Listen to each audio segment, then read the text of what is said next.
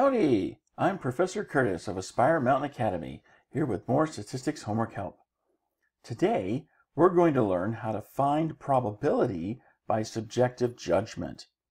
Here's our problem statement. Assume that 700 births are randomly selected and 341 of the births are girls. Use subjective judgment to describe the number of girls as significantly high, significantly low, or neither significantly low nor significantly high.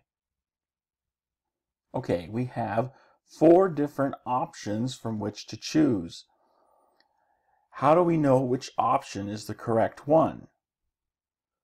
Well, we're looking at births, and a birth could be either a boy or a girl. So we would expect that the number of births that are girls would be approximately half of the total amount because there's approximately a 50% chance of having a birth be a girl if everything is truly randomly selected.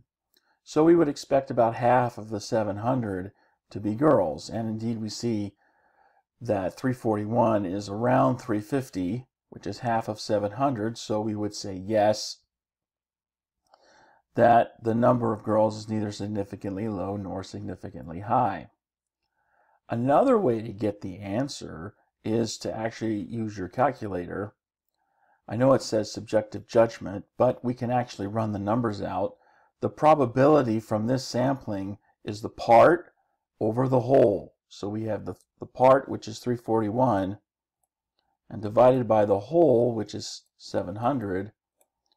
And here we've got for a little bit more than 48% of the the sample here are girls. This is around 50%. So again, we would say that the number of girls is neither significantly low nor significantly high.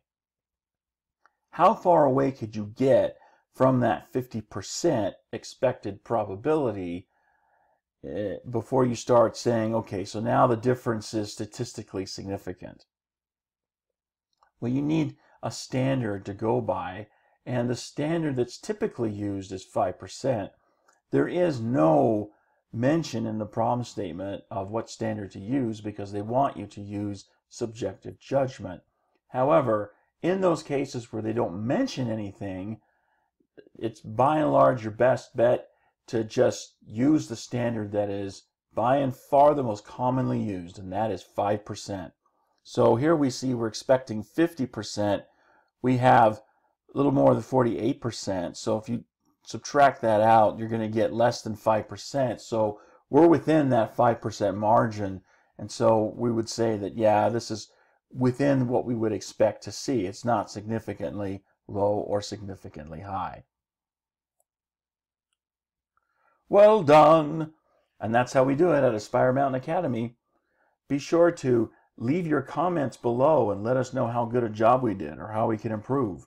And if your stats teacher is boring or just doesn't want to help you learn stats, go to aspiremountainacademy.com where you can learn more about accessing our lecture videos or provide feedback on what you'd like to see. Thanks for watching. We'll see you in the next video.